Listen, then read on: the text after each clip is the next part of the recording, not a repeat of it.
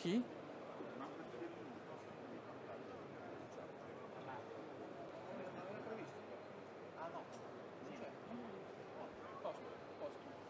Allora, buongiorno a tutti.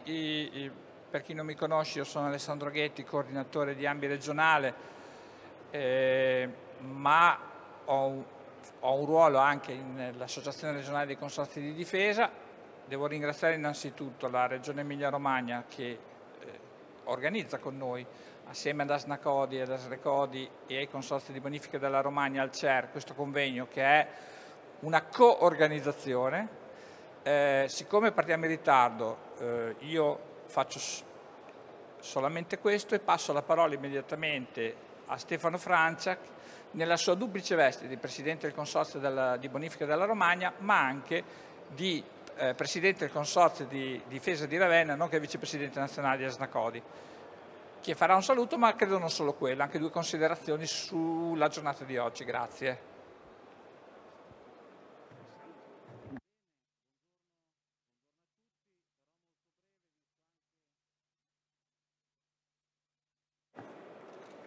Andiamo bene così? Oh, adesso si sente. Bene, buongiorno a tutti. Innanzitutto grazie per partecipare a questa iniziativa che per noi è molto importante sotto i punti di vista che elencava adesso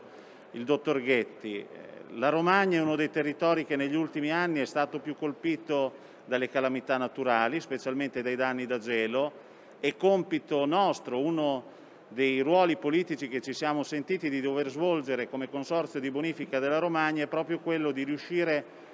ad intervenire in modo attivo. Intervenire in modo attivo per quale motivo? Siamo la regione che ebbe la felice intuizione di partire con la lotta integrata guidata, siamo una delle regioni più innovative d'Italia, credo che uno degli input che deve venire dal consorzio di bonifica e dai consorzi di difesa è quello di passare veramente ad una gestione integrata dei danni da calamità naturali.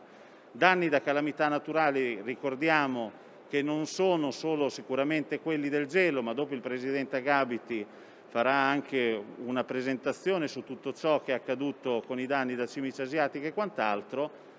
noi oggi ci proponiamo di iniziare con un percorso che ci possa vedere veramente in un nuovo solco per la nostra agricoltura. Due numeri sul consorzio di bonifica della Romagna, abbiamo più di 500 chilometri di canali ad uso promiscuo, quindi che vengono utilizzati e per il deflusso delle acque nei momenti di necessità, ma vengono poi invasati per l'irrigazione. Abbiamo più di mille chilometri di condotte irrigue in pressione e abbiamo una distribuzione su tre province molto importanti.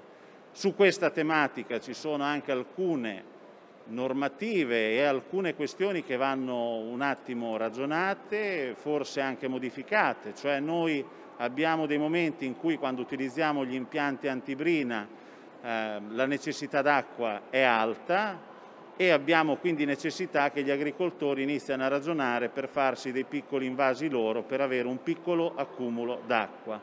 Questa è veramente una strategia da mettere in campo. Dico due parole sul, sul Consorzio di Difesa di Ravenna. Siamo un consorzio che assicura circa 350 milioni di euro. Quello che ci preme oggi è continuare ad essere attrattivi per il mondo delle assicurazioni. Abbiamo raggiunto dei grandi obiettivi grazie ad Asnacodi e al lavoro che si è fatto con le associazioni agricole nel fatto di riuscire nella nuova programmazione comunitaria da una parte a fare un prelievo del 3% dal primo pilastro e di continuare ad avere delle importanti risorse sulle misure che saranno di gestione del rischio. Ecco, tutto qui, io non mi dilungo perché comunque i relatori sono tanti, sono più titolati di me a parlare di questo tema, ma credo che la giornata di oggi sia veramente importante per dare il là assieme alla Regione Emilia-Romagna su una gestione del rischio integrata. Grazie.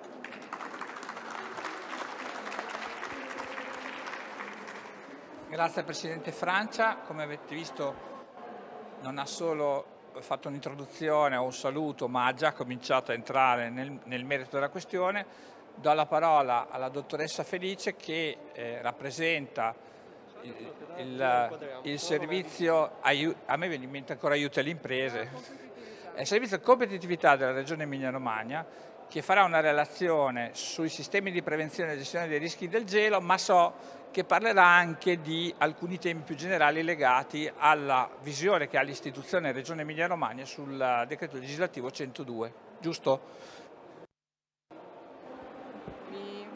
tolgo la maschera. Buongiorno a tutti quanti, non so se riuscite a, a caricare la presentazione. Ecco, allora, abbiamo detto che possiamo andare avanti. Io inizio proprio da qui, cioè nel far vedere che eh, a fronte di un uh, problema grande, grandissimo ormai, per i contorni che sta assumendo delle gelate, noi cerchiamo di mettere in campo in realtà vari strumenti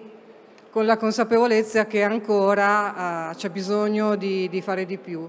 I cambiamenti climatici purtroppo si stanno facendo sentire, si stanno facendo sentire parecchio. Tutti quanti contribuiscono ai cambiamenti climatici in termini di inquinamento, di comportamenti e quant'altro, ma purtroppo oh, chi ne paga maggiormente le conseguenze ormai sono sempre di più gli agricoltori. Gli agricoltori che a causa dei cambiamenti climatici stanno sperimentando fenomeni eh,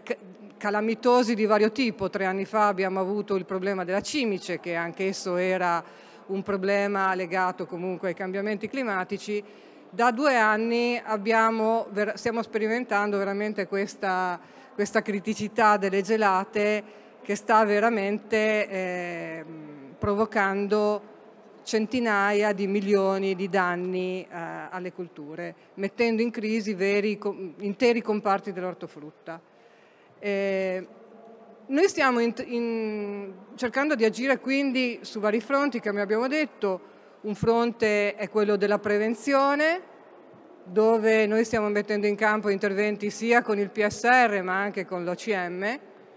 eh, con l'OCM ortofrutta in particolare. Nel programma operativo 2021 sono stati stanziati 300 milioni mi pare di euro a fronte di investimenti eh, supportati alla, al 50%, poi vedremo invece, approfondirò maggiormente quello che facciamo col PSR perché è la materia poi di cui mi occupo io direttamente mentre non mi occupo in realtà dell'OCM. Stiamo lavorando sul fronte degli indennizi dove stiamo facendo varie cose,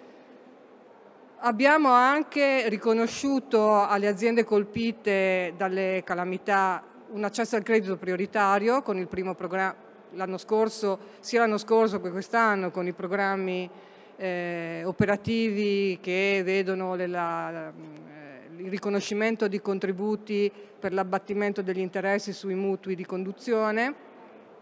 E poi c'è tutto un grande fronte, qui oggi abbiamo molti rappresentanti perché vedremo dai numeri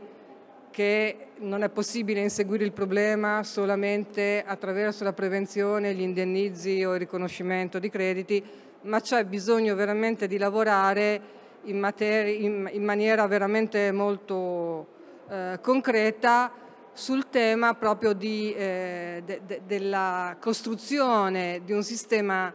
eh,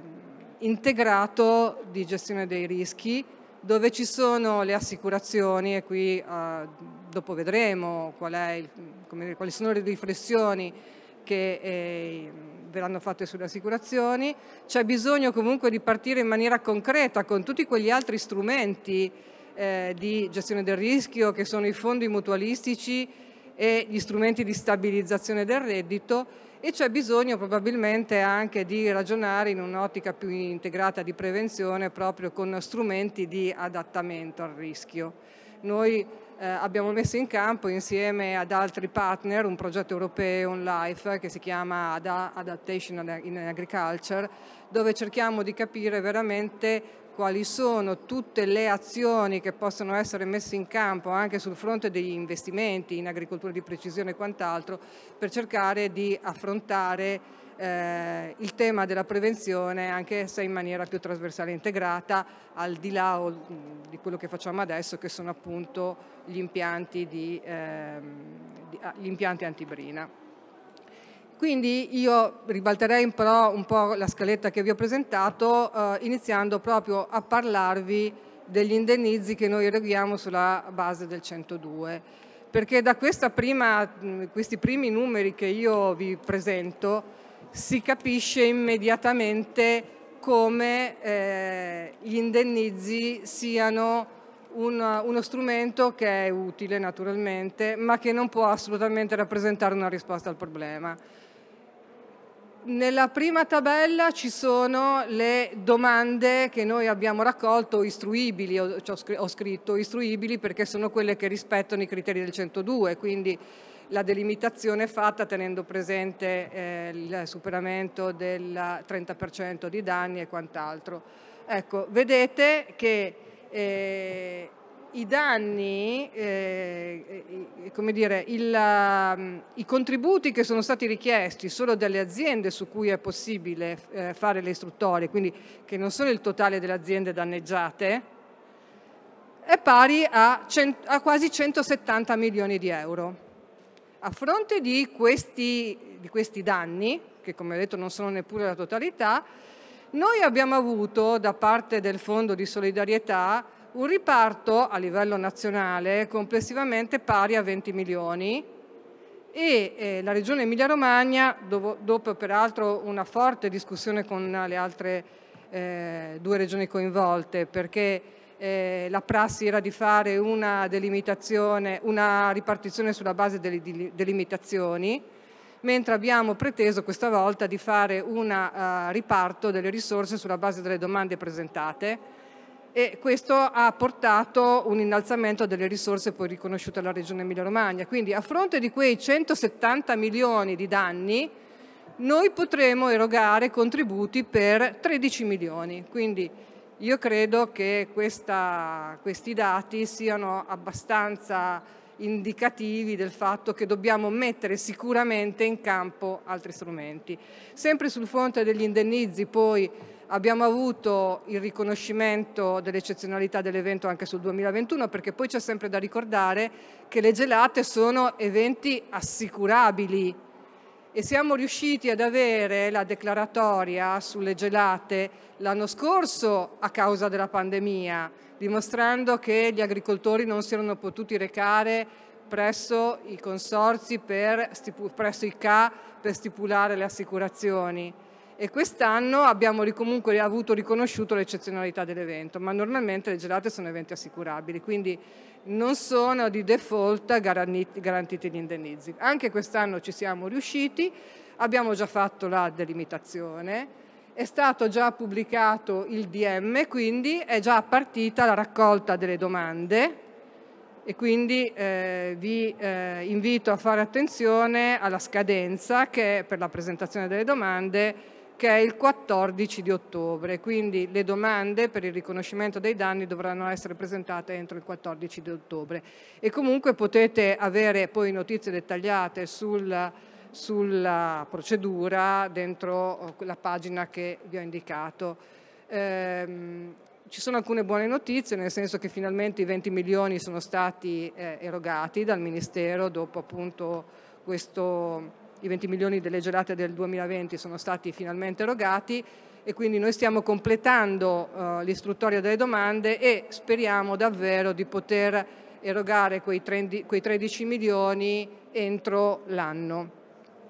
Poi partiremo naturalmente con le istruttorie sulle gelate 2021. Anche qui la buona notizia è che con la legge di conversione del decreto legge 73 è stato, è stato aumentato, oh, sono state aumentate le risorse stanziate sul fondo di solidarietà a fronte di queste calamità, portandolo da 105 a 160 milioni, anche se poi dentro sono stati inseriti altri eventi, per esempio la grandine di maggio e, e, giugno, quindi è stato aumentato, però sono stati anche inseriti degli altri eventi e anche lì stiamo vedendo se c'è la possibilità di delimitare. Detto questo, eh, l'altro fronte su cui siamo intervenuti per dare un po' di sollievo alle aziende colpite dalle calamità è stato anche quello dell'accesso al credito, come ho detto prima, e eh, riconosciamo priorità massima, sia l'anno scorso che quest'anno, abbiamo riconosciuto priorità massima alle aziende colpite dalla, dalle gelate. L'anno scorso, perché il bando attuale è ancora in corso di, di svolgimento, l'anno scorso, nel 2020, abbiamo erogato eh, prioritariamente eh, gli interessi sui prezzi di conduzione a 370 aziende che presentavano la priorità 1, cioè la priorità massima, quindi pari al 32% del totale, e sul breve termine 53, pari al 33% del totale sul medio termine, perché sapete che dall'anno scorso abbiamo anche modificato la legge per eh, aumentare, per, eh, per, dare la possibilità di erogare contributi anche sui mutui triennali, quindi non più sui mutui annuali come era eh, precedentemente. Quindi questo, eh, dire, questi sono gli altri interventi su cui noi siamo, abbiamo fatto alcune cose per dare sollievo alle aziende e poi, eh, dire, siamo oh, partiti anche con la prevenzione nell'ambito del programma di sviluppo rurale. Abbiamo già eh, emanato due bandi, un primo bando, quindi il, il PSR e la, Focus Area eh, P3B, sostenere la prevenzione e la gestione dei rischi, il tipo di operazione è la 5104, come ho detto abbiamo già emanato due bandi, il bando 2020 che ha prodotto questi risultati, quindi a fronte di 4 milioni e 216 mila euro di risorse stanziate, rese disponibili dal bando, Abbiamo avuto 62 domande presentate, 6 poi si sono ritirate, quindi abbiamo ammesso tutte le restanti domande, eh, quindi 56 domande ammesse e 56 finanziate perché abbiamo finanziato tutta la graduatoria che avevamo eh, definito. La spesa ammessa è stata di 3 milioni 880 mila euro, quindi in realtà il bando non ha, come dire, la, la, la domanda, la richiesta non ha esaurito tutte le risorse che all'epoca erano disponibili e abbiamo concesso contributi per eh, 2 milioni 716 mila euro. Naturalmente i eh, progetti sono in corso di eh, ehm, di realizzazione e quindi vedremo poi alla fine quali saranno i risultati effettivi di ciò che eh, ha prodotto il primo bando. Eh, abbiamo poi quindi emanato un secondo bando dove abbiamo eh, introdotto anche alcune novità per cercare come dire, di aumentare la risposta in chiave di domanda e vedremo dopo quali sono eh, le novità che abbiamo introdotto. Eh, qui c'è eh, la delibera con cui abbiamo adottato il bando, qui abbiamo aumentato le risorse, le risorse sono circa 6 milioni e mezzo. I beneficiari sono sempre imprese agricole che intervengono individualmente a tutela del proprio potenziale produttivo frutticolo. E per quanto riguarda la tempistica, anche qui vi eh, dire, vi segnalo di prendere ben nota di quali sono eh, i tempi, i termini per la presentazione delle domande. Le domande sono state aperte il 30 di luglio e potranno essere presentate fino al 19 di novembre 2021, alle ore 13 del 19 novembre. Poi abbiamo lasciato i canonici, mi pare 10 giorni, che ormai lasciamo su tutti i bandi, per rettificare eventuali errori materiali di presentazione della domanda, però naturalmente la domanda deve essere quella presentata entro il 19 di novembre. Poi abbiamo previsto come termine per l'invio delle varie autorizzazioni paesaggistiche, urbanistiche e quant'altro il 25 di gennaio 2022 e eh, usciremo con la graduatoria poi entro il 4 di marzo 2022. Quindi queste sono le tempistiche che abbiamo previsto. Per quanto riguarda le condizioni di ammissibilità, vabbè, ci sono quelle classiche, bisogna essere iscritti alla Camera di Commercio, all'anagrafe regionale delle aziende agricole, con fascicolo aggiornato e formalmente completo e validato secondo le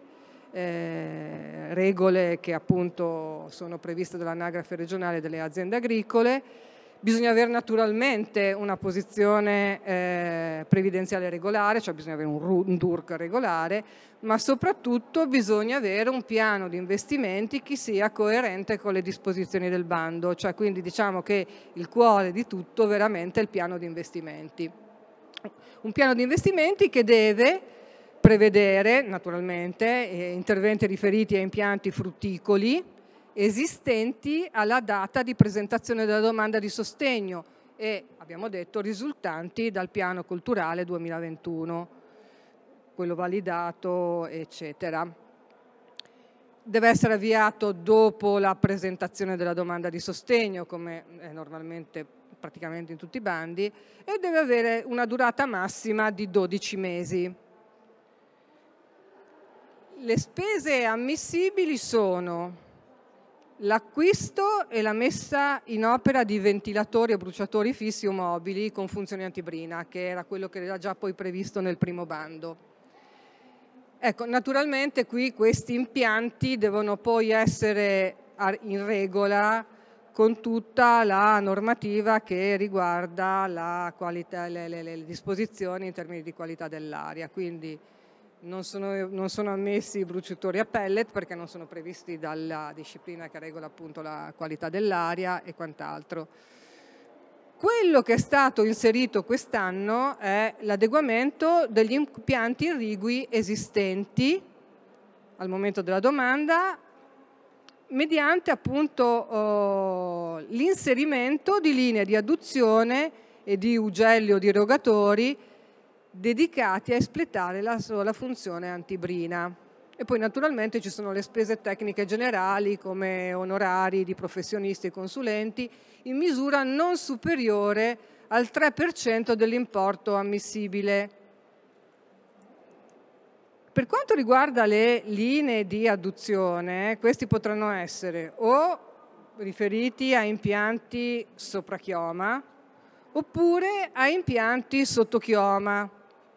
con micro irrogatori dinamici, eh, cosiddetti splinker. Poi io non sono un tecnico e quindi magari poi eh, vi rimanderò al responsabile di procedimento che è il dottor Fabrizio Roffi che essendo anche un tecnico vi sarà, sarà molto poi più preciso se avrete bisogno di chiarimenti eh, successivamente eh, su quali sono esattamente tutte le tipologie di impianti che sono ammissibili. L'impianto potrà eh, altresì ricomprendere una centralina per il controllo automatico dell'impianto in relazione alle condizioni meteorologiche e anche stazioni di pompaggio finalizzati naturalmente esclusivamente all'alimentazione uh, del, delle linee antibrina, quindi non agli impianti di irrogazione, di, di, ehm, di irrogazione in generale. Ecco, qui poi c'è questo punto che so che è stato molto discusso, su cui però noi non possiamo fare a meno di, eh, di prevederlo, perché noi non possiamo andare a, a, dire, a, a, finanziare degli investimenti sapendo già che questi non potranno funzionare, c'è la, necessa, la necessità di avere un'attestazione del consorzio o dell'ente che concede l'acqua circa la disponibilità della risorsa idrica in un periodo in cui normalmente questa risorsa idrica forse non è prevista perché il problema delle gelate è che ormai le gelate non sono più gelate tardive, cioè gelate che avvengono in periodi in cui sono già partiti i piani di, eh, di cessione dell'acqua da parte dei consorzi. Abbiamo purtroppo delle gelate che appunto con i cambiamenti climatici avvengono in periodi anticipati e quindi a volte abbiamo questa, questo disallineamento che può effettivamente costituire un problema. E la coesistenza, perché voi sapete che nel PSR abbiamo come dire, da rispettare anche i vincoli di impegno, cioè gli impegni di durata degli investimenti, la coesistenza di queste due linee, cioè di un impianto irriguo preesistente e delle linee per, con la funzione antibrina dovranno essere mantenute per, tutto, uh, per tutta la durata del periodo di impegno. Adesso voi, noi abbiamo avuto sempre una dicotomia tra la legge 15 e, la, e, la, e i regolamenti PSR dove alcuni, alcuni, impegni erano di 10 anni e alcuni erano di 5 anni. In realtà adesso con la revisione della legge 15 che è imminente la durata dell'impegno sarà uniformata tutto al regolamento e quindi eh, eh, la durata dell'impegno sarà sempre di 5 anni. Quindi 5 anni dove ehm, dovrà essere mantenuta questa coesistenza tra impianti irrigui e linee di, eh, di, ehm, di eh, antibrina. Ecco, per quanto riguarda le spese non ammissibili, investimenti che non rispettino la normativa vigente o che non siano riconducibili a salvaguardia di potenziale produttivo delle aziende frutticole dalle gelate primaverili, l'IVA, le prestazioni aziendali volontarie di manodopera, le spese sostenute con modalità di pagamento non conformi, ma questo come dire sono dei classici dei bandi del PSR, cioè non si può pagare con assegno in contanti, ci vuole sempre un bonifico non eh, sono ammissibili impianti per le serre, cioè le serre in generale, le manutenzioni ordinarie di beni mobili e immobili, l'acquisto di materiale usato, investimenti che non rispettino la normativa vigente, questo qui in realtà l'abbiamo già scritto, è stato ripetuto, mi, mi, mi scuso, e la dotazione eh, con durata tecnica inferiore ai 5 anni per quello che abbiamo detto prima. Le aliquote di sostegno sono il 70% del costo dell'investimento ammissibile, quindi 70% di aiuto. La spesa massima del programma di investimenti è eh, 200.000 euro, mentre la, eh, e qui c'è la possibilità di presentare anche dei progetti comunque per importi superiori che però poi verranno ricondotti ai fini del calcolo del contributo alla, alla spesa ammissibile.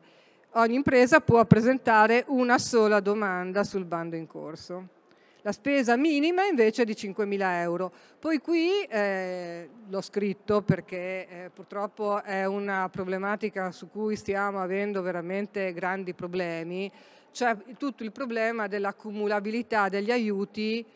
con quello che attualmente è il credito d'imposta, soprattutto sugli impianti tecnologici. Purtroppo ci è arrivato tra capo e collo, voi lo sapete meglio di me, un parere della Commissione europea eh, che eh, ancorché le leggi nazionali e anche come dire, eh,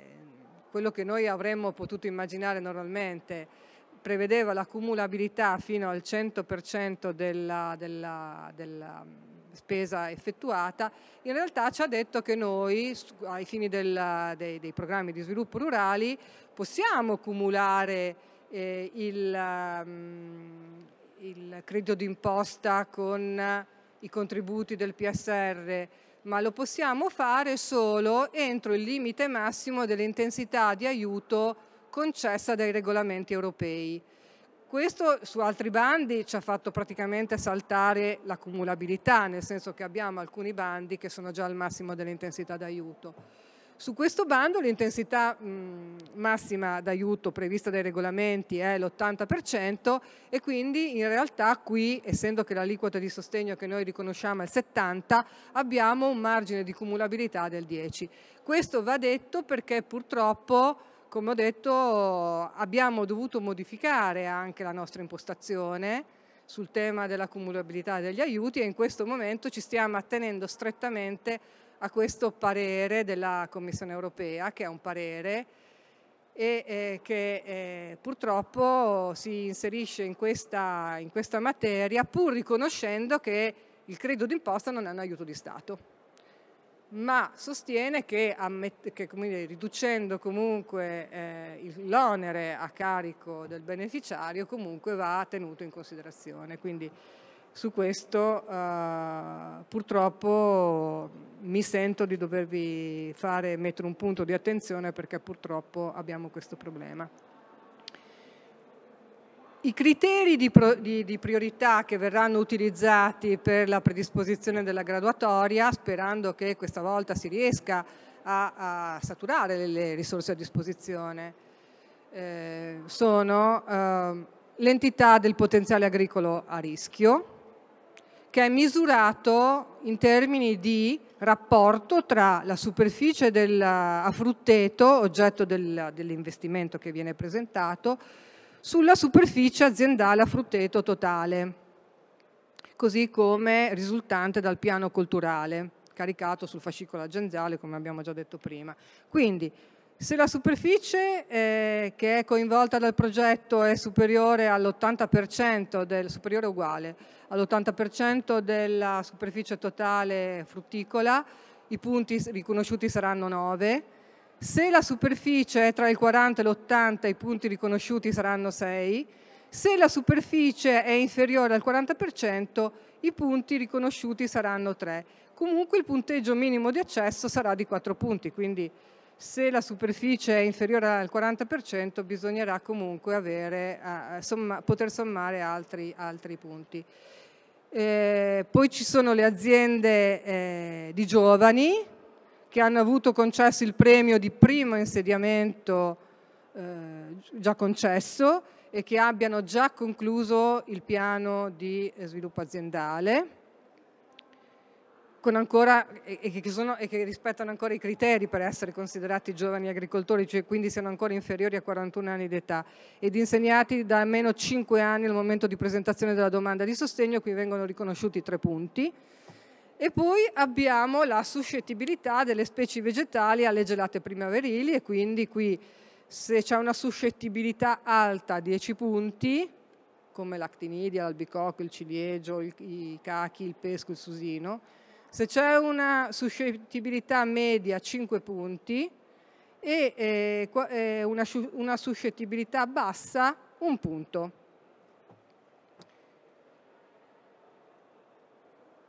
Ecco, qualora poi l'intervento riguardi specie diverse che abbiano suscettibilità differenti, eh, il punteggio verrà determinato proporzionalmente. Ecco, io direi che come dire, mi fermo qui, non, uh, direi che non aggiungo altro per ora e comunque sono qui per rispondere a tutte le domande che mi vorrete porre. Bene, eh, molte grazie dottoressa. Brevissima considerazione, come vedete già la Regione immagina un'integrazione di strumenti si è parlato di 102, ma ovviamente se uno guarda, tra l'altro per una, una, calamità che avviene in deroga all'assicurazione per l'anno 2020 e poi per il 2021, però con una possibilità di eh,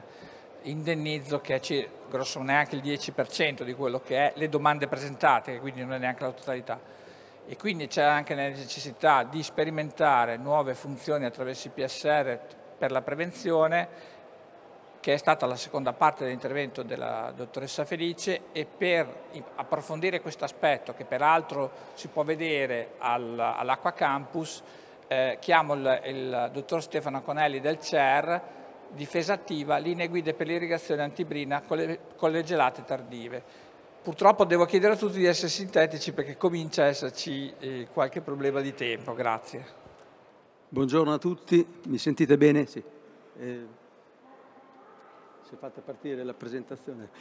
Purtroppo vedo, eh, mi dispiace che rivedere di nuovo sale piene, perché noi avevamo già studiato, no? noi come canale Miano Romagnolo ovviamente siamo eh, insieme con gli altri consorzi di bonifiche quelli che portiamo l'acqua per l'irrigazione estiva. Già 20 anni fa avevamo avuto una serie di annate consecutive, 95, 97, 98, con gelate intense anche 8-9 gradi sotto zero e facemmo allora un grande progetto di ricerca dal 99 al 2003 con il servizio regionale dell'ARPA, il servizio meteorologico, noi come canale Emiliano-Romagnolo, come ente di ricerca che lavora da sempre con la regione Emilia-Romagna, il CNR e diverse università, per mettere a punto i sistemi di difesa attiva con l'irrigazione. E purtroppo anche allora avevamo sale piene perché facemmo poi eh, attività di divulgazione per vedere come impiegare al meglio gli impianti di irrigazione antibrina. E le gelate in Emilia Romagna in particolare sono sostanzialmente per irraggiamento e le avrete viste tutte purtroppo in questi ultimi anni, quindi calma di vento, bassa umidità, cielo sereno di notte, eh, viene una bella stellata, l'agricoltore quando sono le 11 che vede che la temperatura è intorno a 1-2 gradi deve cominciare a preoccuparsi perché ogni ora una perdita di un grado circa, verso le 3-4 del mattino ci troviamo purtroppo sotto zero. A quel punto, ecco, vedete, quello che succede in una notte di questo tipo, abbiamo la cosiddetta inversione termica, è il terreno che tende a perdere calore e negli strati più bassi dell'atmosfera noi abbiamo, vedete, fino a un metro di altezza temperature, questa qui è una notte del, 2000, del 95, fino a un metro temperature anche di 4-5 gradi sotto zero. Poi mano a mano l'inversione eh, tende a calare, a 3-4 metri di altezza la temperatura sale. Il problema appunto è difendere le colture arboree soprattutto negli strati più bassi, tra 1 e 2 metri.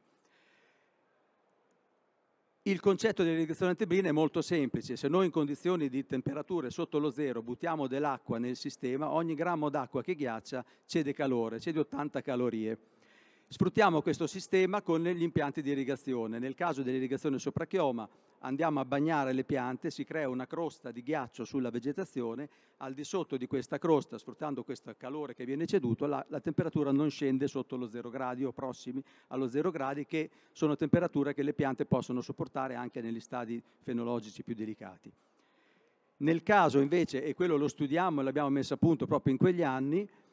e la stessa cosa può essere fatta con gli impianti sotto chioma, non bagnando direttamente la vegetazione, ma andando a bagnare il prato dell'interfilare che va mantenuto in questo caso inerbito e in questo caso il, il, ghiaccio che si forma va a contrastare quella perdita di calore negli strati, si crea un cuscino d'aria calda che contrasta il, la, la, salita dell'aria fredda verso l'alto. Il concetto dell'irrigazione sopra chioma, questa era eh, già allora una tecnica molto nota e utilizzata dai frutticoltori in Trentino Alto Adige, dove però le condizioni sono più favorevoli in quel caso, o comunque anche nel Piemonte, cioè nelle condizioni diciamo pedemontane, con terreni che sgrondano facilmente l'acqua, con dello scheletro e con ampia disponibilità d'acqua. Il concetto comunque è che dal momento che io parto, cioè arrivo a 0 gradi verso mezzanotte e comincio ad irrigare, per tutta la notte io devo continuare a produrre ghiaccio perché se no, se mi si ferma l'impianto a metà, faccio dei danni ben maggiori che non fare nessuna difesa. Quindi le regole, adesso qui non sto, visto che i tempi sono stretti e poi ehm, avremo anche modo nel caso lo, lo, dico eh, anche qui ad Acqua Campus, qui in fiera ci sono delle aziende che hanno collaborato già all'epoca con noi, che espongono materiali, quindi se quelli interessati possono poi andare a vedere anche le ultime soluzioni che sono state sviluppate da vent'anni in avanti. Comunque, come dicevamo, con gli impianti di irrigazione sopra chioma classici, molti sono nei nostri pereti del Ferrarese hanno ancora impianti di questo tipo, irrigatori a, do, a 16 x 18 metri con i classici, i classici irrigatori pioggia lenta a schiaffo. L'importante è che abbiano angoli di rotazione molto veloci e garantire la maggiore uniformità di distribuzione e la rapidità di distribuzione dell'acqua. Il problema è che noi andiamo a distribuire 4-5 mm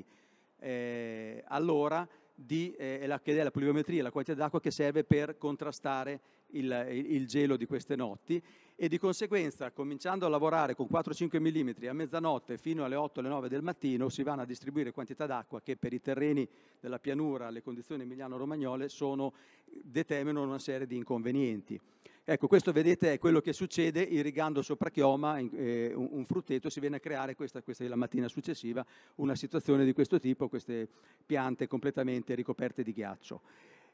È importantissimo, dicevo, verificare chiaramente in quelle notti gli agricoltori stanno in piedi e sono giorno, tutta la notte a verificare che tutto funzioni.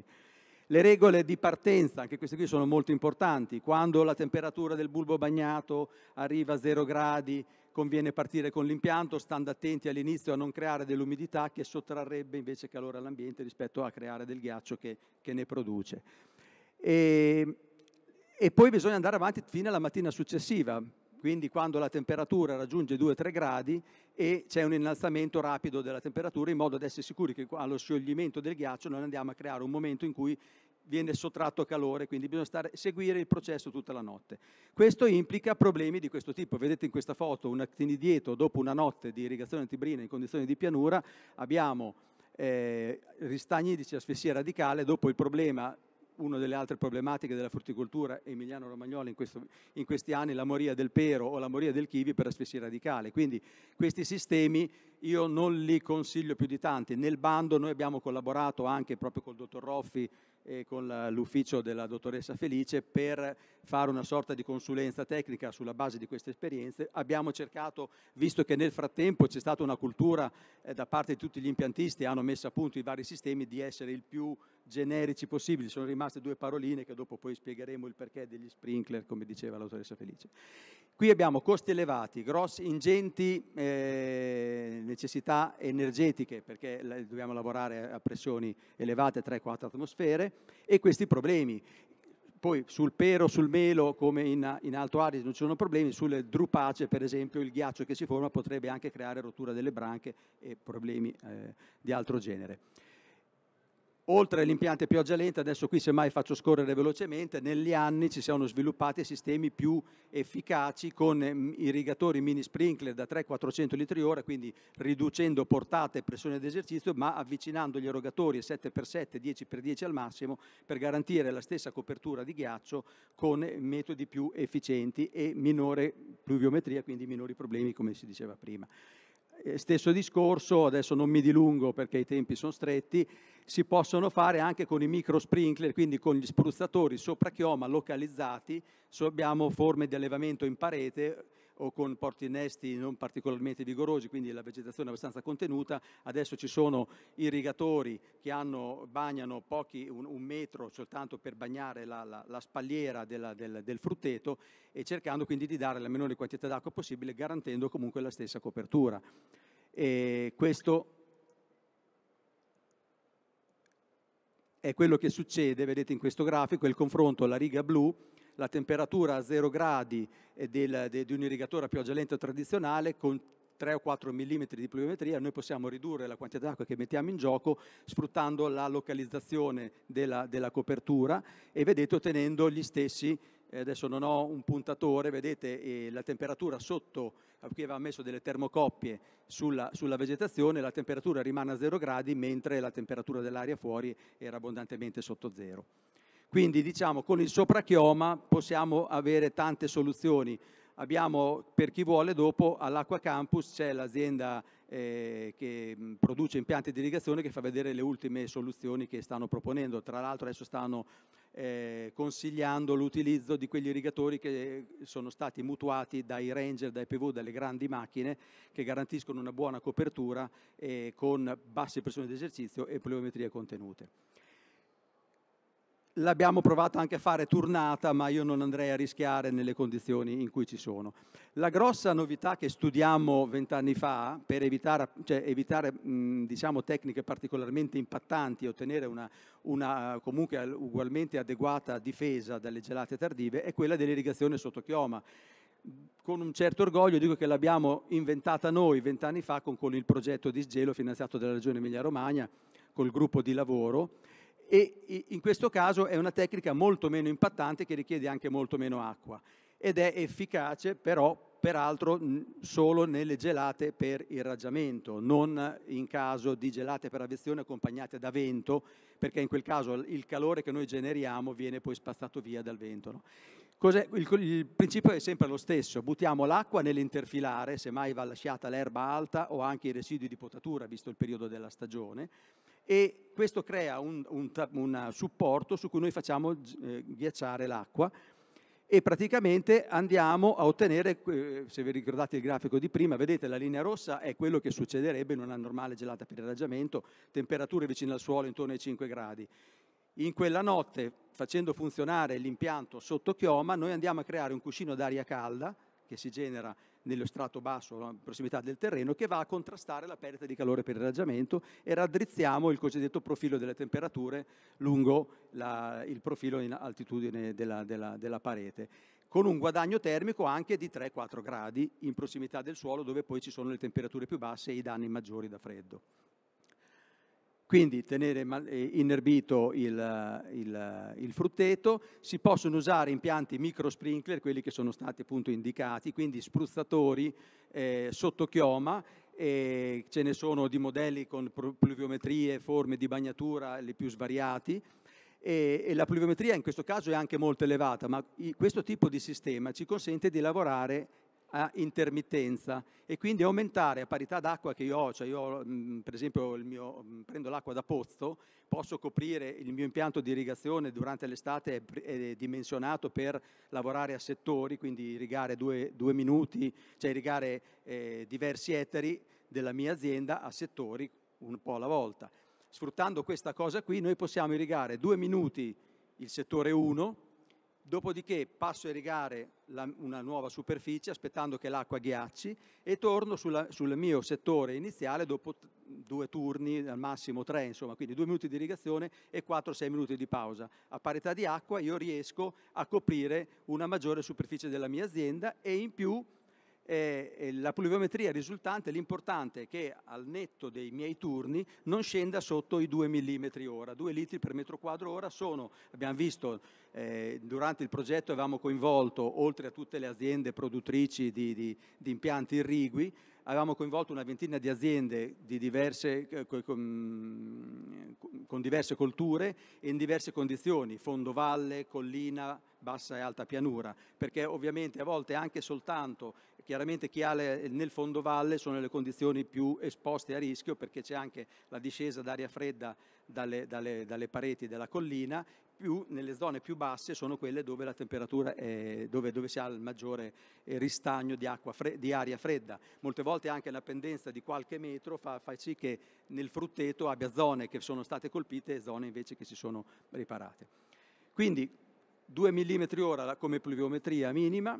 si possono fare degli interventi eh, appunto aumentare la nostra superficie facendo l'irrigazione turnata e, e, a questo punto la temperatura di allarme eh, lo facciamo con un bulbo asciutto, è importante mettere il sensore abbastanza in basso in modo che sono le condizioni più critiche, in modo da partire con un certo anticipo e cominciare a fare del ghiaccio prima ancora che andare di mandare a rischio la parte alta del frutteto. E tutto adesso, vent'anni fa vedete che tipo di eh, data logger venivano usati, ancora molto sperimentali, adesso ormai eh, gli, gli, impianti sono dotati di automazione, quindi non ci sono più problemi per quanto riguarda le, gli allarmi e la partenza. L'importante quando si fanno irrigatori, cioè il, il sottochioma, come si diceva anche nel bando è stato mantenuto questa cosa, di, eh, vedete qui sono tutta una serie di soluzioni, l'importante è tenere gli, gli, spruzzatori verticali, quindi con pesetto, in modo da evitare poi di andare a bagnare le piante, ma da fare in modo che il getto vada direttamente solo sul prato. Ci sono tutta una serie di soluzioni, l'ideale dicevo è questo con il pesetto rispetto alla stina, perché quando facciamo i due minuti di, eh, durante le pause, e col pesetto mi si svuota il tubino, non ci sono rischi di congelamento, perché stiamo parlando di 7-8 gradi sotto zero in cui ci muoviamo. Di conseguenza non abbiamo visto problemi di congelamento con queste soluzioni anche con turni 2 minuti di irrigazione, 6 fino anche a 10 minuti di pausa. Quindi in questo caso l'altro grosso vantaggio è che se durante la notte viene la copertura nuvolosa non c'è più problemi, noi possiamo interromperci prima, quindi comunque le, le quantità d'acqua in gioco sono decisamente inferiori e non abbiamo rischi decisi. Poi qui mi fermo, semmai per ulteriori delucidazioni noi abbiamo sul sito, questa presentazione la potete trovare sul sito del Consorzio CER e poi vi invito tutti, noi abbiamo la mostra permanente a Budrio all'Acqua Campus in collaborazione con tutte quelle aziende che hanno condiviso con noi i risultati della, della sperimentazione si possono organizzare giornate dimostrative in collaborazione proprio con le stesse aziende che fanno vedere i prodotti, i prodotti ultimi che, che, sono adesso in commercio. Anche per chi dovesse fare la progettazione, poi per presentare in tempi utili per il bando le, le cose. Direi che sì, questa era appunto la parte sperimentale che facevamo. Ecco, molto importante, qui lo dico, eh, poi mi, mi, mi taccio, se va avanti. Se, ecco, abbiamo fatto perché gli, gli, irrigatori dinamici rispetto agli statici, vi faccio vedere questo grafico dove si vede nettamente la temperatura dell'aria è arrivata a 8 gradi sotto zero con lo statico, il problema dello statico fa un getto nebulizzato, l'importante invece con gli irrigatori dinamici è fare gocce grosse per evitare, perché in quelle condizioni di bassa umidità c'è il rischio di evaporazione, quindi di sottrarre calore. Quindi assolutamente usare mini sprinkler e non spray, questi erano i risultati del progetto. Vi lascio perché purtroppo i tempi sono molto stretti.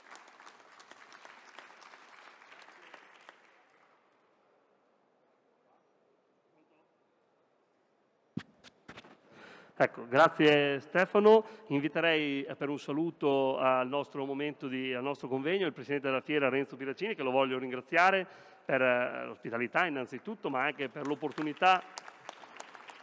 che sta dando attraverso Macfruit all'ortofrutta, un settore che Renzo lo conosci benissimo, un settore che sai benissimo che sta passando una fase difficile, ma siamo anche tutti consapevoli, ci siamo confrontati più volte che non serve piangersi addosso, ma serve pensare al futuro e serve ad avere delle idee per il futuro. Noi come Ambi, lo sai, lo stiamo provando a fare anche attraverso la fiera, quindi ti ringraziamo e ti ringrazio per un saluto. Bene, grazie a voi. Non voglio portare via del tempo al, al vostro interessante convegno. Intanto voglio ringraziare Ambi, Asrecodi, il, il Presidente Gabiti e, e, chiaramente tu Francesco. Eh, io credo, voglio dire solamente alcune cose. Chiaramente stasera a fine giornata trarremo un po' le conclusioni, però eh, chiaramente sentiamo un po' l'umore degli operatori. Io credo che qualche,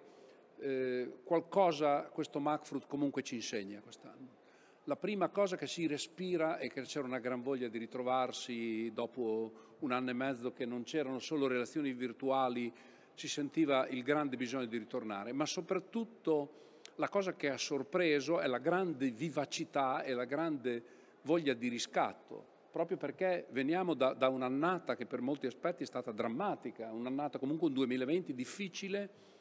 Beh, devo dire la verità che forse è nei momenti di difficoltà che si riesce a esprimere il meglio, eh? perché eh, veramente tante imprese eh, diciamo, stanno guardando avanti, progettano il futuro e mai come ora eh, la situazione è stata in grande evoluzione. Quindi io credo che il MacFruit, che è una, una vetrina di, di, di quello che noi stiamo facendo nella filiera, di quest'anno ci dimostri che insomma, noi non siamo la Spagna, oggi dal punto di vista produttivo indubbiamente ha degli elementi di competitività eh, in molte filiere rispetto a noi che sono difficilmente colmabili. Però se noi mettiamo insieme la filiera, come abbiamo fatto quest'anno, grazie, devo dire, al contributo degli espositori, grazie al vostro contributo, mettiamo insieme dei contenuti veri, io sono convinto che l'Italia non è seconda a nessuno e possiamo ritornare leader a livello europeo, perché oggi quello che conta non serve produrre tanto, probabilmente serve più impostarsi già per un mercato che è in, è in forte cambiamento e che anche pensa solo al tema che voi trattate, al tema della difesa. Come potremo pensare di, di, di, di fare investimenti per decine di migliaia di ettari eh, così, sperando che, che, non grandini, sperando che non geli, sperando che, che non piova? Quindi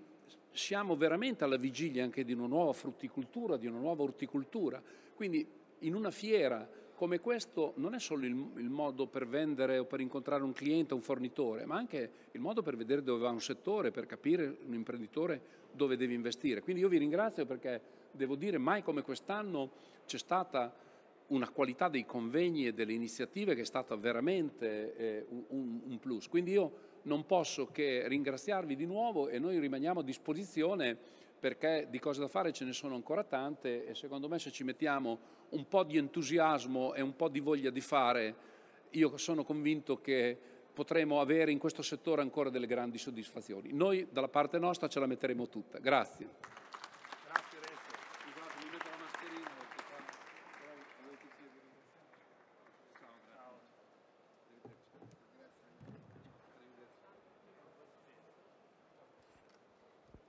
Eh, grazie al Presidente della Fiera per eh, l'intervento che ha fatto e per tutte le, man le, mani le, varie mani che ci ha dato durante i tre giorni di fiera,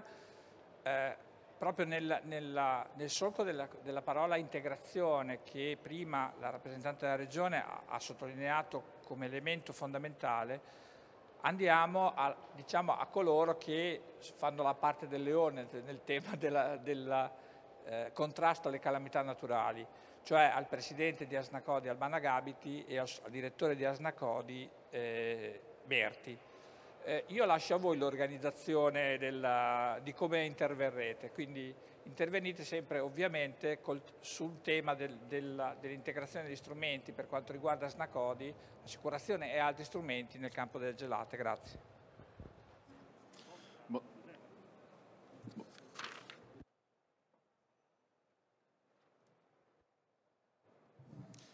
Buongiorno a tutti, grazie per la possibilità di intervento Presidente. Eh, vorrei iniziare con, eh, seguendo anche l'intervento del Presidente della Fiera, portando i complimenti per come rispetto a un problema che sta impattando sulle produzioni agricole, il territorio dell'Emilia Romagna sta dando una risposta. Abbiamo visto azioni concrete, azioni concrete da parte della Regione su finanziamenti per realizzare sistemi di difesa attiva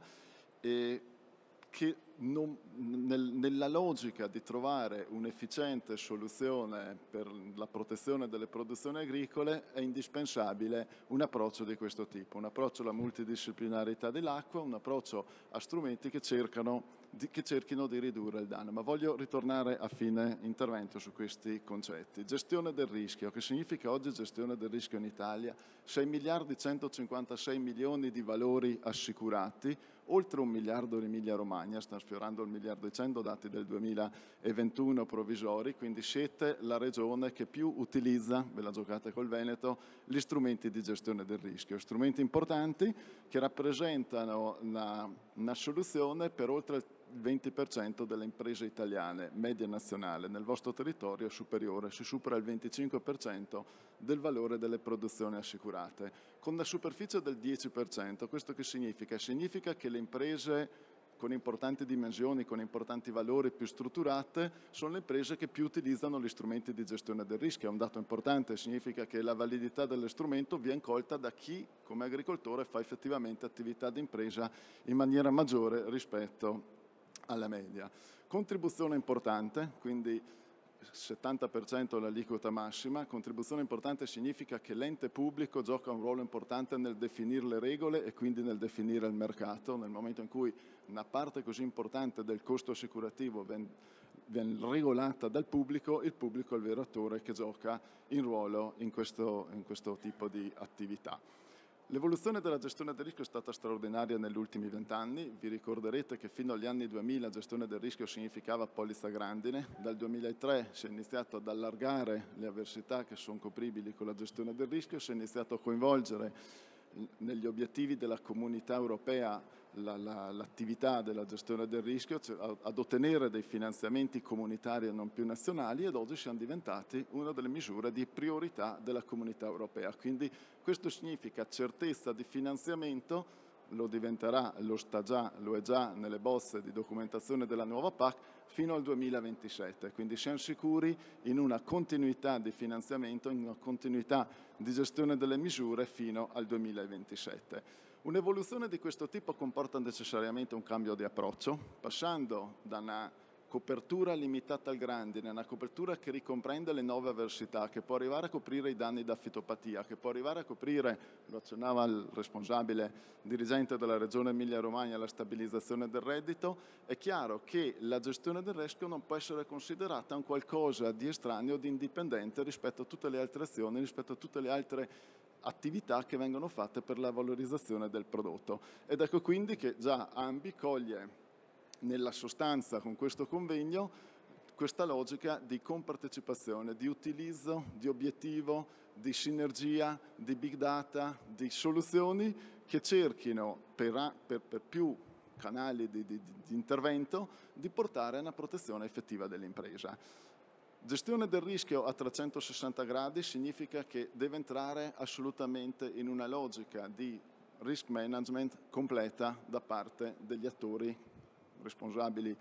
agri agricoli, le associazioni che gestiscono la gestione del rischio. Risk management significa analizzare il contesto, dare delle indicazioni agli agricoltori tali per cui si rischi di ridurre l'effetto del cambiamento climatico.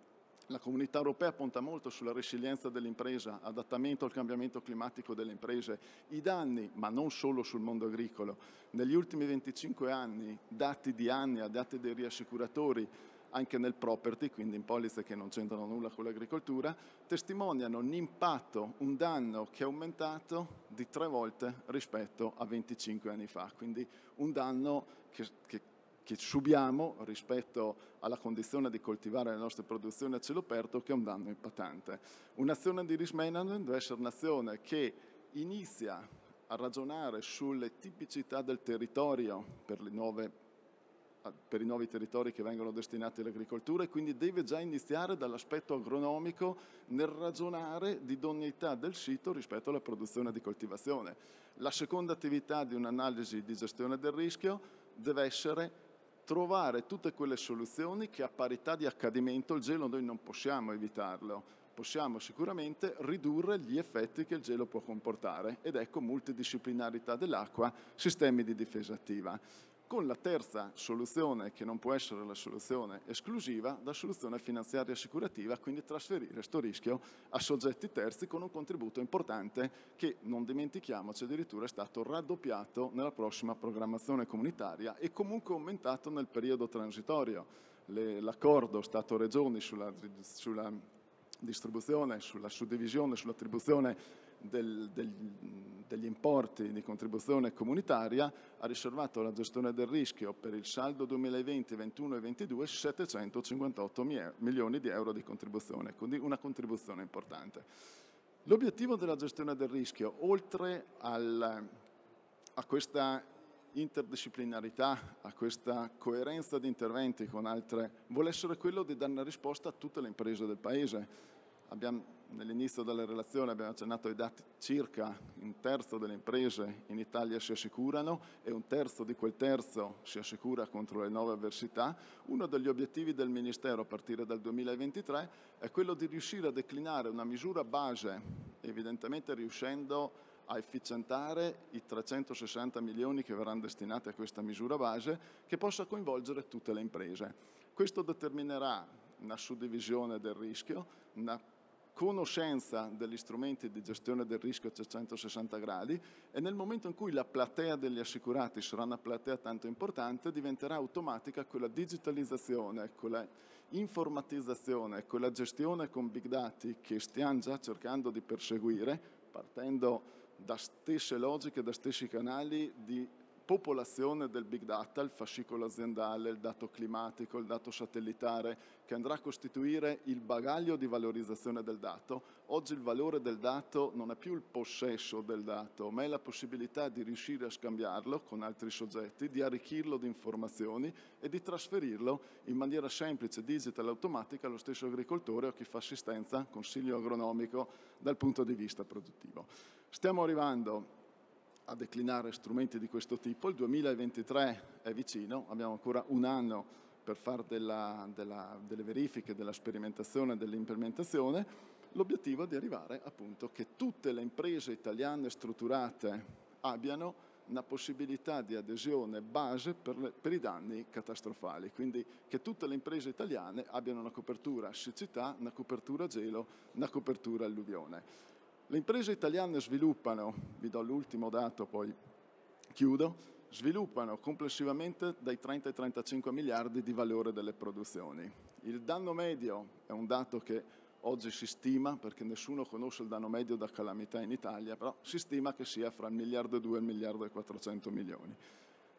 Quel che si deve cercare di trovare con efficienza è la risposta più coerente con 360 milioni di disponibilità di risorse pubbliche. Quindi questi 360 milioni, e questo è un dato importante per farvi tutte le analisi di, eh, di, di, di strutturazione della difesa aziendale in difesa attiva, in assicurazione, lo Stato sta cercando di dare una risposta, ma la possibilità è dare una risposta con 360 milioni a un danno medio complessivo nazionale che si stima in circa 1 miliardo 2, 1 miliardo 4 e un valore delle produzioni al quale si deve rispondere perché il cambiamento climatico potrebbe anche peggiorare, il trend sta andando in peggioramento, di certo non in miglioramento, sono i 30-35 miliardi di valore delle produzioni agricole, prezzo mercuriale, prezzo in campo medio nazionale questi sono i tre. Noi stiamo lavorando, Snacodi vuole essere protagonista,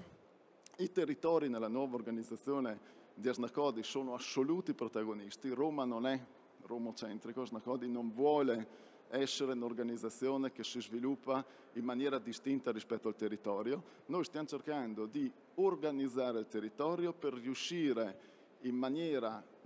in maniera omogenea di sistema, quindi per far massa critica, per avere un vantaggio competitivo, ad organizzarci a fare investimenti nell'infrastruttura tecnologica per poter dialogare con AMBI, con l'assistenza agronomica, con la filiera produttiva, stiamo parlando di stabilizzazione del reddito, il nostro interlocutore del dato deve essere la filiera produttiva, cooperativa o chi si occupa di mercato, non di certo chi si occupa di gestione del rischio che è un di cui rispetto a una misura di questo tipo. Il territorio, torno al ragionamento di Asnacodi, deve essere assoluto protagonista, quindi noi stiamo cercando di valorizzare con difesa del territorio in una logica di competenza e che abbiano un approccio di gestione in una visione nazionale. Nell'era dei big data, nell'era della digitalizzazione, è l'unica soluzione come sistema che possiamo dotare per sviluppare misure efficienti su tutte le imprese a livello nazionale e per essere forti rispetto all'ente pubblico per, per eh, riuscire a declinare questi 360 milioni in misure che siano effettivamente il massimo vantaggio per l'impresa agricola. Questo è quello che stiamo cercando di fare e mi complimento di nuovo per l'iniziativa e per l'approccio che avete rispetto alla protezione delle produzioni. Grazie.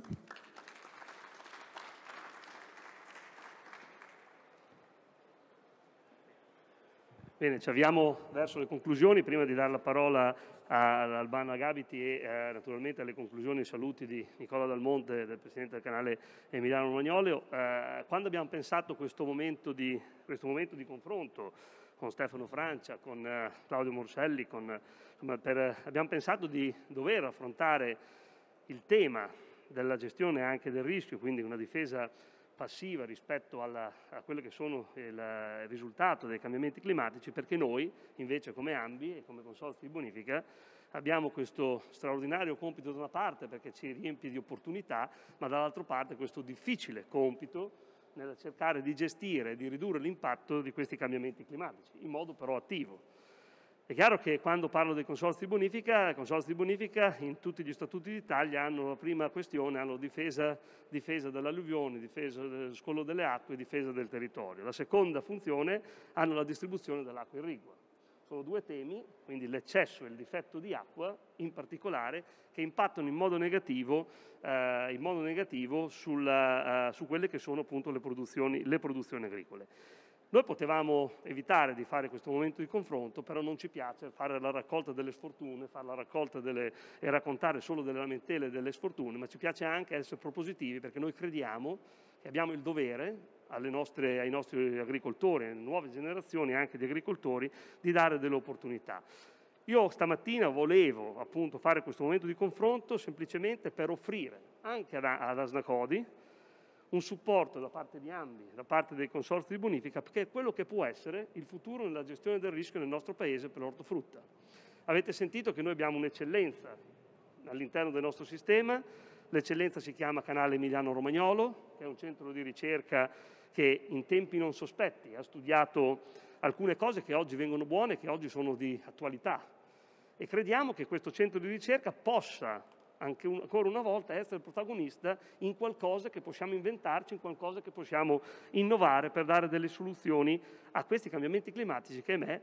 forse ce lo siamo raccontato per tanto tempo, ma lo dico con grande franchezza, abbiamo fatto troppo poco perché ci siamo trovati davanti ai fatti che non siamo assolutamente pronti per affrontare quello che è purtroppo lo scenario mondiale. Se leggete lo scenario mondiale dell'IPCC su quello che sarà l'impatto dei cambiamenti climatici sul nostro territorio, voi capite che ci troveremo delle scadenze dove noi sicuramente come Paese non saremo, non saremo pronti a, ad affrontarle in modo, in modo corretto e soprattutto sicuro per i cittadini e per le imprese, e per le imprese agricole. Allora noi crediamo di darvi e di offrirvi questa opportunità in diversi modi. Io credo che il mondo dei consorzi di bonifica vi, è, vi, possa essere di supporto per andare a certificare e per andare a dire alle assicurazioni dove sono quelle aree più o meno rischio noi vi possiamo andare a dire in modo puntuale, con la conoscenza attraverso i nostri apparati dei consorzi di bonifica, dove abbiamo degli impianti di scolo, dove abbiamo la sicurezza idraulica, dove le alluvioni possono avere un impatto inferiore rispetto a un territorio dove noi non ci siamo. Possiamo andarvi a dire e raccontare dove abbiamo una certa disponibilità di acqua rispetto a dove non ce l'abbiamo. E quindi possiamo andare a dire le assicurazioni, lì possiamo fare un investimento ad un costo, assicurando un'impresa oppure assicurando un altro tipo di impresa, Dall'altra parte non ci siamo, possiamo fare, purtroppo sappiamo che il rischio è maggiore, quindi dobbiamo valutarlo in modo, in modo diverso. Dall'altra parte io credo che possiamo essere da supporto per tutte quelle cose che ci siamo dette rispetto alla difesa attiva, rispetto al bando della regione, rispetto a tutto quello che può essere in integrazione alla difesa passiva, perché quello che è successo in questi anni è chiaro e ci ha detto che nessuno può vincere questa sfida se ragiona a comparti stagni. La difesa passiva non è la soluzione totale. Perché non è la soluzione totale? Perché non è più appetibile neanche per le assicurazioni? Diventerà appetibile se integreremo questa difesa passiva con la difesa attiva grazie anche agli impianti di irrigazione, piuttosto che agli impianti antribine, piuttosto che tutto quello che dobbiamo fare. Lo dobbiamo fare, guardate che siamo anche qui alle porte di nuove opportunità per il Paese. Eh? L'Europa oggi ci sta dando delle opportunità, noi avremo una mole di risorse che non, vedremo, non l'avremo, non la, qualcuno lo chiama il piano Marshall, io credo che nel momento in cui arrivano queste risorse sarà molto di più di un piano Marshall e il Next Generation UE ci deve fare infrastrutturare il nostro Paese anche di fronte a queste sfide qua. Perché la sostenibilità ambientale e la, e la, sostenibilità economica e sociale non si raggiunge con dei convegni e con delle parole, si raggiunge con dei fatti. E io credo che con il, nuovo, col piano di resilienza dobbiamo centrare l'obiettivo di fare gli investimenti giusti e corretti per accompagnare le imprese, i popoli e i nostri, e i nostri territori bene, a quelle che saranno le sfide del futuro. Allora noi anche su questo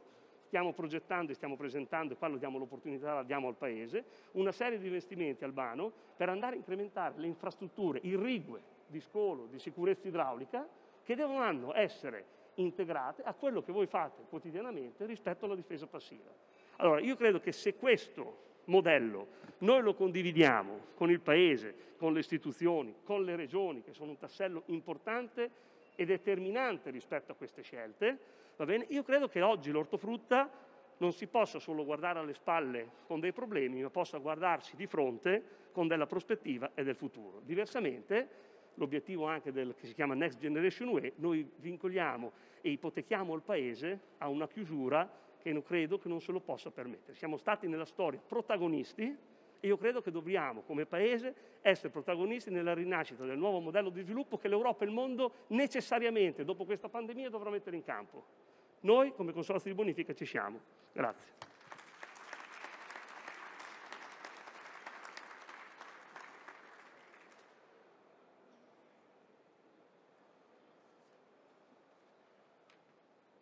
Grazie, buongiorno a tutti. Spero di essere sufficientemente breve anche perché le raccomandazioni di Francesco erano di chiudere per le una, quindi siamo già in ritardo, quindi sarò sufficientemente, spero, breve ma le considerazioni che sono venute fuori stamattina sono straordinariamente interessanti. Ci siamo confrontati magari anche personalmente alcune, tante volte con Francesco, con Stefano, no, nel doppio ruolo che è, eh, in particolare di Stefano di essere protagonista sia nel sistema dei consorsi di difesa che in quello delle bonifiche e chiaramente l'elemento centrale che dobbiamo capire è che oggi da una parte in virtù dei cambiamenti climatici, che è un dato ineludibile non, dal quale non possiamo, eh, eh, no, non, non possiamo, che prenderne atto, non è che ci sono altre considerazioni. Fino a qualche anno fa si pensava che era l'espressione così un po' isterica di qualche eh, mondo ambientalista e quant'altro, in realtà quello che sta succedendo e soprattutto noi come agricoltori ne, ne, ne, stiamo prendendo atto. Considerare io sono un agricoltore di collina in zona non irrigua, non possiamo più piantare culture primaverili, quando prima piantavamo regolarmente il mais in asciutta. Quindi nel giro di 20 anni sono cambiate completamente le condizioni di riferimento, come nell'azienda mia, in, in, nei milioni di, di, aziende italiane sono cambiati i parametri di riferimento per eh, poter gestire l'azienda stessa. Quindi partendo da questo presupposto diciamo che da una parte siamo andati avanti con la difesa passiva, perché i dati sono stati dati, l'evoluzione degli ultimi 15 anni in particolare è stata straordinaria. Siamo passati da un miliardo, Andrea diceva 6 miliardi, no, ma in realtà siamo arrivati a 9 se ci mettiamo dentro anche la zootecnia, no, vegetali, zootecnia e strutture, a 9 miliardi di euro di valori assicurati. Eh, abbiamo fatto un'esplosione in termini di prestazioni contrattuali delle polizze, perché questo è il dato di fatto perché uno degli elementi che oggi, per essere realisti, perché sennò poi no, ho saputo che in questi giorni c'è stato un bel dibattito anche all'inaugurazione della fiera, in alcuni convegni, su se lo strumento assicurativo funziona o non funziona, eh, però dobbiamo essere anche realistici, a parte il fatto che eh, no? dire noi che funziona, che ne siamo i protagonisti è un po' difficile, però uno strumento che mediamente insomma, eh, porta nelle tasche degli agricoltori No, al netto del contributo pubblico sappiamo che è un moltiplicatore proprio che arriva agli agricoltori, ma se dovessimo togliere anche il contributo pubblico, negli ultimi dieci anni è stato pagato sempre di più di quanto gli agricoltori hanno pagato. Se a questo ci mettiamo che il 70% degli agricoltori non l'hanno pagato perché sono stati rimborsati dallo Stato, capite benissimo che hanno pagato mediamente 30 e hanno portato a casa 110, questa è la media degli ultimi dieci anni. Quindi prima di dire che non funziona facciamo una riflessione. La seconda riflessione è che chiaramente uno degli elementi che ha portato e che sta portando a criticità il rapporto col mondo assicurativo è che le prestazioni contrattuali delle polizze sono aumentate in maniera esponenziale. Lo ricordavamo prima, siamo partiti da una polizza monorischio sulla Grandine che era fino al 2006 eh, che risarciva soltanto il danno quantitativo, dove oggi si risarcisce il danno commerciale. Ci sono 3, 6, 9 rischi che vengono no, inseriti all'interno della polizza. È chiaro che l'esborso è sempre maggiore, i cambiamenti eh, gli eventi sono sempre più severi, gli eventi estremi sono sempre più frequenti e sostanzialmente e le prestazioni contrattuali sono aumentate. Il sistema così, in una prospettiva di medio termine, è difficile sostenerlo perché poi le compagnie sostanzialmente ovviamente sono delle imprese, non è che possono operare in perdita per dieci anni senza colpo ferire, prima o poi si allontanano dal mercato, ma sta alla nostra intelligenza rendere, ritornare a far sì che il mercato sia tonico, e infatti stiamo integrando, e qui ancora parlo di difesa passiva, con eh, ancora tanta innovazione, perché il primo elemento da inserire è innovazione. Non è che gli obiettivi che abbiamo raggiunti in termini di contenuti di polizze sono degli obiettivi che non si possono superare. Si possono superare benissimo perché oggi possiamo parlare di polizze tecnologiche, oggi possiamo parlare di polizze index che hanno l'obiettivo di fare che cosa? Non di andare a rimuovere chi già ha delle strutturazioni che funzionano bene, ma di allargare la platea assicurativa, perché il primo elemento, il primo elemento per rendere accessibili gli strumenti assicurativi al costo giusto, soprattutto per chi ha bisogno, è che si deve assicurare sempre di più persone e imprenditori nel nostro Paese. Più si allarga la platea assicurativa, e più il costo diventa accessibile, più c'è una spalmatura del rischio, più c'è una prospettiva del settore. Considerate che i 9 miliardi che assicuriamo oggi hanno un tasso medio che è più basso di quando c'era la polizza monorischio sulla grandine, proprio in virtù di questo allargamento della platea che c'è stata sostanzialmente negli ultimi 15 anni. Quindi il primo elemento è questo. Il secondo elemento su cui dobbiamo lavorare è implementare strumenti che vanno a corroborare quella che è l'azione diciamo, assicurativa e mi riferisco ai fondi mutualistici sia per quelle prestazioni contrattuali che oggi non è possibile eh, portare a casa dalla, sostanzialmente dalla copertura assicurativa, quindi fondi che vanno a risarcire che ne so, le fitopatie piuttosto che no, alcuni, alcuni eventi che oggi non sono ricompresi nelle polizze. E soprattutto stiamo lavorando anche sui fondi per la stabilizzazione del reddito, lo accennava il direttore, e quello è il momento in cui devi entrare in contatto con tutta la filiera, in particolare stiamo lavorando con le organizzazioni di prodotto, anche in Emilia Romagna, no? siamo partiti con un fondo, diciamo, abbiamo già chiesto il riconoscimento al Ministero, giusto non dico stupidaggini, al 30 di giugno, eh, stiamo presentando ora tutta la documentazione accessoria e stiamo partendo con un fondo di stabilizzazione eh, sulle barbabietole da zucchero. Eh, ci sono già in Italia 10 fondi operativi riconosciuti al Ministero eh, sostanzialmente con contributo pubblico, più alcuni fondi che non usufruiscono del contributo pubblico, è qualcosa che si può fare, è qualcosa che eh, uno strumento aggiuntivo agli strumenti tradizionali che abbiamo di gestione del rischio, ma che può dare risposta importante eh, sostanzialmente eh, agli agricoltori. Detto ciò, chiaramente la sfida che dobbiamo portare avanti è, come si diceva, mantenere anche questo filone diciamo, comunitario di finanziamento, perché prima quando la dottoressa diceva con eh, gli aiuti ex post sostanzialmente abbiamo preso il 10%, un po' meno del 10% se non ho capito male dei danni che abbiamo avuto l'anno precedente, ma in realtà cioè, questa è, è la constatazione che era venuta fuori già nel 2007 e 2008, dove la, la, il risarcimento medio degli ultimi dieci anni era stato del 2-5% del danno effettivamente censito sostanzialmente con eh, le dichiarazioni di stato di calamità da parte degli agricoltori.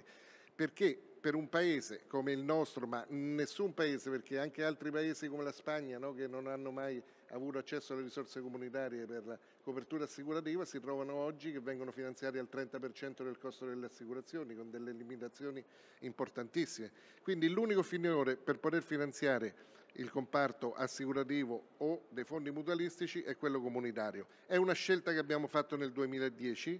molto complessa, anche molto coraggiosa, ci ha dato ragione perché abbiamo fatto cambiare opinione alla Commissione europea che non voleva assolutamente finanziare strumenti di questo tipo. Nel 2014 è diventato eh, in qualche maniera uno dei sei punti centrali della programmazione 2014-2020 e è stata riconfermata ormai nelle carte ufficiali della programmazione 2023-2027 e talmente riconfermata che per quanto riguarda il budget del nostro Paese saranno pro anno raddoppiare le risorse di quelle che erano state messe a disposizione nel eh, periodo 2014-2020. Quindi l'obiettivo questo lo abbiamo centrato, quindi quello che abbiamo portato avanti fino ad oggi, quello che voglio dire è che ce lo dobbiamo costruire gelosamente e dobbiamo solo lavorare per allargare e per migliorare, non per ricostruire un sistema alternativo diverso a quello che abbiamo, perché poi a smontare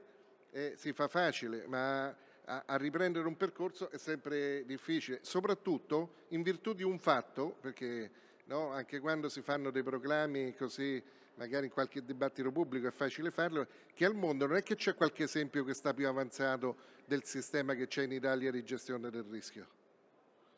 Perché eh, abbiamo, siamo andati a vedere di persona dagli Stati Uniti alla Russia sostanzialmente come funzionano no, questi strumenti. Eh, abbiamo visto tutte le possibilità che si possono esplorare in campo, ma più avanti di come siamo arrivati noi in Italia, cioè un sistema compiuto di polizze, un sistema di fondi a corroborare le polizze. Non esiste in nessun altro paese al mondo. Non è che possiamo andare a imitare o a cercare delle soluzioni di qualcuno che sta più avanti di noi. Lo stesso sistema americano è molto meno virtuoso per chi diciamo, si assicura oggi in Italia eh, quello americano rispetto a quello italiano. E quindi purtroppo tutto il percorso che abbiamo davanti, tutte le iniziative che dovremmo prendere, ce le dobbiamo costruire con le nostre intelligenze, con le nostre capacità,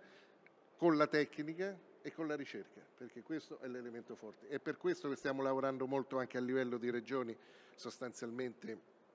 sul discorso di utilizzare in particolare le misure 16, quindi Asnagodi è partner, no, per riprendere quello che diceva Andrea, è partner molto forte insieme ai consorsi territoriali per studiare l'innovazione in questo settore, studiarla da tutti i punti di vista e vi assicuro che c'è un mondo enorme da scoprire. E io sono d'accordo con quello che diceva Francesco, col PNRR noi andremo a riscrivere la storia no, del nostro Paese, ma in maniera sostanziale e quindi dobbiamo essere abili a utilizzare bene anche queste risorse. E nell'utilizzazione di queste risorse credo che dovremmo centrare il nostro obiettivo nella, in quella che è stata un po' l'iniziativa di questa mattina che Francesco eh, ha voluto organizzare insieme a noi, che è quella di integrarsi. Perché ovviamente ne avete parlato molto bene prima, adesso mi sono un po' più riconcentrato sugli strumenti di gestione passiva, il futuro sarà che oltre a migliorare i contenuti delle polizze in polizze tecnologiche e polizze index, oltre a costruire fondi mutualistici e a corroborare le prestazioni contrattuali delle polizze, non ci sarà sostenibilità, oltre a, fare, a prendere questo 3% dal primo pilastro per far sì che tutti gli agricoltori italiani abbiano almeno una copertura nella gestione del rischio catastrofale, che questo credo è un altro passo straordinario che abbiamo fatto e diventa il presupposto poi per tutti quegli agricoltori che non si sono mai assicurati fino ad oggi di stipulare anche questi strumenti più avanzati che è la polizza, che è il fondo mutualistico e quant'altro. Accanto a questo però dobbiamo mettere in campo tutta una serie di strumentazioni di difesa attiva e questo sarà un lavoro straordinario da fare sia col PNRR e sia con i nuovi piani di sviluppo rurale perché nella nuova programmazione eh, per certi versi questo sarà un po' semplificato dal fatto che sarà nazionale la programmazione, non più singole regioni. È che gli obiettivi possono andare da una parte e dall'altra. Fino ad oggi nessun PSR, se non un paio regionali, no, eh, mettevano tra i criteri di priorità nell'assegnazione del punteggio il fatto, ad esempio, che per chi si assicura c'è una garanzia in più di portare avanti l'investimento e di portarlo a un buon fine. No? Paradossalmente io se fossi diciamo, un decisore regionale penso che anche chi usufruisce di misure agroambientali e quant'altro dovrebbe tra virgolette avere uno pseudo obbligo o un punteggio aggiuntivo se no, eh, se, se, si tutela nella gestione del rischio per portare a termine le produzioni, perché quello è un obiettivo ambientale, ma se poi le produzioni non arrivano a termine o salta l'azienda, anche l'obiettivo che era fissato nelle misure agroambientali viene a saltare sostanzialmente. Quindi noi dovremo coordinare queste azioni e dovremo coordinarle in maniera tale che dobbiamo intervenire per eh, le reti antigrandine dove grandina dappertutto perché è impossibile pagare se, se in qualche territorio per, negli ultimi dieci anni ha sempre grandinato in quel comune, in quella frazione, eh, non è che si può gestire con uno strumento assicurativo perché poi lo paghiamo tutti quanti, eh? non è che lo paga soltanto quello che è il sinistro tutti gli anni, quello va a ricadere sul, su, su tutto il sistema e poi lo rende incompatibile con un costo giusto per tutti gli altri. Se in qualche territorio, come sta succedendo da tutti gli anni, dovremmo capire tra antibrina, tra coperture, ieri sera abbiamo fatto un approfondimento, eh. no, ci sono adesso più di qualche soluzione che va sostanzialmente in questa direzione, dovremmo, eh, stamattina eh, vedevo anche il riferimento a questi bruciatori e quant'altro, dovremmo mettere in campo secondo i territori, secondo la tipologia di azienda, tutto quello che è possibile mettere in campo. Se in collina asciutto, come nel mio caso, tutti gli anni ormai abbiamo siccità o abbiamo i laghetti collinari per poter irrigare, oppure certe culture non le possiamo piantare più, che è quello che sostanzialmente sta succedendo. E quindi questa sfida di mettere in campo difesa passiva in una sinergia però totale con la difesa attiva, credo che è il lavoro che dobbiamo fare per il futuro, lavoro che non è che dobbiamo farlo come se stiamo a parlare di qualcosa no, che vediamo lontano, è il lavoro che già stiamo facendo eh, in questi ultimi anni, oggi anche questa iniziativa no, ne è la conferma no, di, di, di, una simbiosi e di una voglia di, non solo di scambiare esperienze ma di portare a casa i risultati per le nostre imprese agricole, perché qui tutti noi stiamo a rappresentare le imprese, non è che stiamo a fare no, degli obiettivi personali o dei capricci per dire meglio strumento assicurativo piuttosto che no, una rete eh, piuttosto che un impianto antibrina, piuttosto che un'altra cosa. Quindi concludo perché credo di aver preso anche troppo spazio, quello che voglio però trasferire è che c'è la forza, l'energia, l'entusiasmo, non per essere passivi rispetto anche alle difficoltà, no? siamo McFruit, lo dicevamo, forse uno dei de, de, delle campagne, delle annate peggiori no, che ci potevano essere, ma ci stiamo attrezzando per gestire al meglio tutto quello che è gestibile. Questo è il messaggio che voglio lanciare, ci saremo come consorzi di difesa, ci saremo insieme con Ambi, ci saremo con le organizzazioni professionali e su questa sarà la nostra direttrice di lavoro e di azione per, per l'immediato e per il prossimo futuro. Grazie e buona giornata a tutti e buona fiera soprattutto. Allora, eh, in questo caso così mi troverei di fronte a un bivio. O apriamo un altro convegno per l'integrazione tra gli strumenti, tra il PSR e i nuovi strumenti dove rimettere in moto il dibattito con la Regione per integrare meglio, o far fare le considerazioni conclusive al Presidente Dal Monte, mi tocca la seconda per ragioni di tempo sostanzialmente.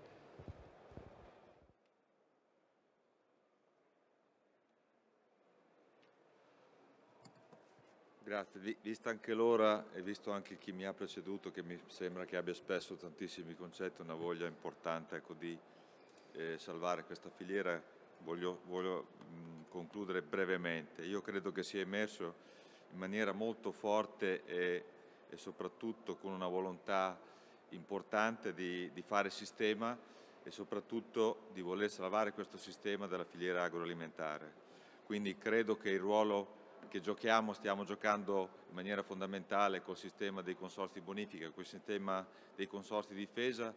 e soprattutto con la, con la nostra regione in particolar modo, qui siamo in Emilia Romagna, oggi sono stati diciamo, presentati quelli che sono stati due bandi che credo che nessuna regione sia, sia riuscita a mettere in campo in un solo anno. noi dobbiamo assolutamente salvare il nostro prodotto per non perdere la nostra filiera. Ovviamente i sistemi messi in campo sono stati tanti. Io credo che sia stata ribadita la volontà,